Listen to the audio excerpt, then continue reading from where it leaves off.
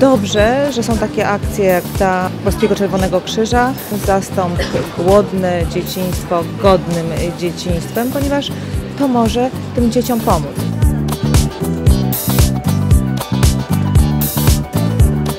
Może uświadomić y, tym, którym się wiedzie lepiej, że bardzo dużo od nich zależy, że kupując, nie wiem, nową bransoletkę albo kolczyki, można wysłać SMS, a nawet dwa, a może i trzy, żeby biedne dziecko miało ciepły posiłek.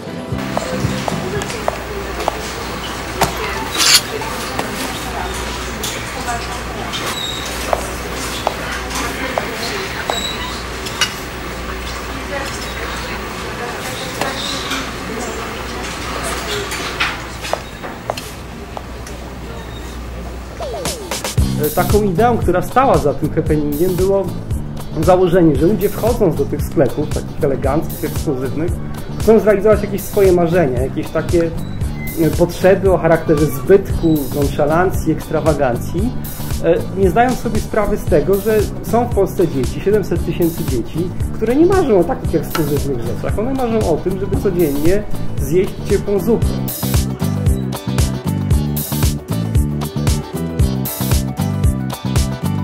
W 2011 roku około 7% osób żyło w skrajnym ubóstwie. Oznacza to, że około 2,5 miliona osób nie może sobie pozwolić na zaspokojenie nawet elementarnych potrzeb. Dzieci niedożywione w dorosłym życiu mają znacznie większe ryzyko występowania różnego rodzaju chorób, takich jak nadciśnienie, osteoporoza czy nowotwory. Dlatego bardzo ważną akcją jest pomoc dzieciom przy zapewnieniu im przynajmniej jednego posiłku w ciągu dnia w szkole.